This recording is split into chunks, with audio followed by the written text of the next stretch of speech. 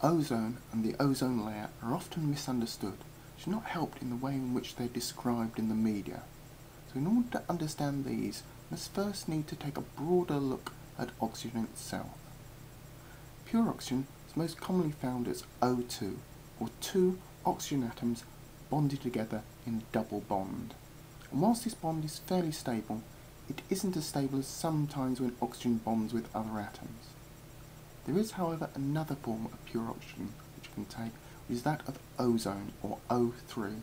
This is now where three oxygen atoms are bonded together, and in this case the bonds are extremely weak and they're very easy to disrupt. Hence, ozone is a very rare gas. Now, O2 is odourless and colourless, but ozone, most importantly, is pale blue in colour and has a rather nasty smell to it. This leaves us to the question, if ozone is so unstable, why is it actually present at all? Well, in nature, this is down to solar radiation in our stratosphere when highly energetic solar radiation strikes O2, splits it apart. Some of this free oxygen then attaches itself to another O2 molecule, and this forms O3, or ozone. This process is constantly occurring, and of course it happens most often in the tropical regions of our planet, where the solar radiation is greatest.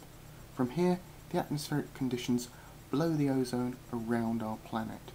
This does mean that there's a lot of variation in the levels of ozone due to factors like seasons, weather and winds.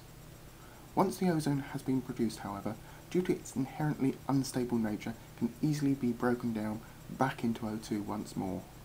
However, it does mean that without human interference, that the level of ozone will remain fairly constant even if it may be at different levels at different parts of our planet at different times of the year.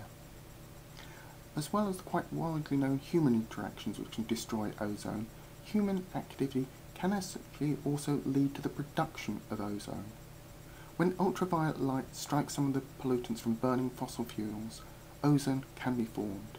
This can reach significant levels where the wind has carried pollutions out from the centre of a city uh, and to nearby rural areas. But before you begin to think that we need to burn more fossil fuels to so solve the ozone problem, there may be some major issues need to take care of first. The first one, and one that's actually rarely talked about, is that because of its structure, ozone is actually a very powerful oxidizing agent.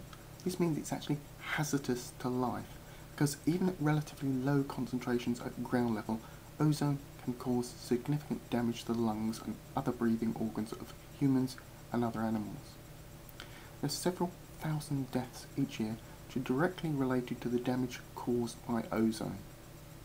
The other factor is that the gas, of course, is at a low level in a, and so in order to protect us it really needs to be high up in the atmosphere. This of course brings us to the most common misconception about the ozone layer. That is that it's a dense layer of ozone which deflects harmful radiation away from the planet. Of course, there are some easily identifiable problems with this. The simplest one being that the higher you go up in our atmosphere, the less dense gases become. So, the lower stratosphere say from 10 to 20 miles above the surface of the Earth, the gases present are going to be anything but dense. The other, as I hope you figured out by now, is that those gases present in this region, they're not going to be mainly ozone or anything like it. Instead, ozone is less than 10 parts per million of the various gases present. Just in this region, the layer has a concentration about 10 times greater than other parts of our atmosphere. So the ozone layer is just part of the atmosphere that has a higher concentration of ozone. It does also mean that the, because the other gases are constantly moving and ozone is such a small part of those gases present, getting accurate figures for the levels of ozone have not been easy to obtain.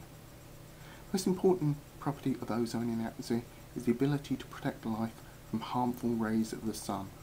These rays are in the form of ultraviolet light. Now, very short waves of ultraviolet light are completely filtered out by the nitrogen in our atmosphere. The slightly longer UVC light is screened out by normal oxygen and ozone. Most of the harmful UVB light is filtered out by the ozone, just leaving enough for us to process the vitamin D in our skins. However, Most of the longer waves of UVA light passes through the ozone layer and reaches the surface of the Earth. Thankfully though, this is the least harmful form of ultraviolet light.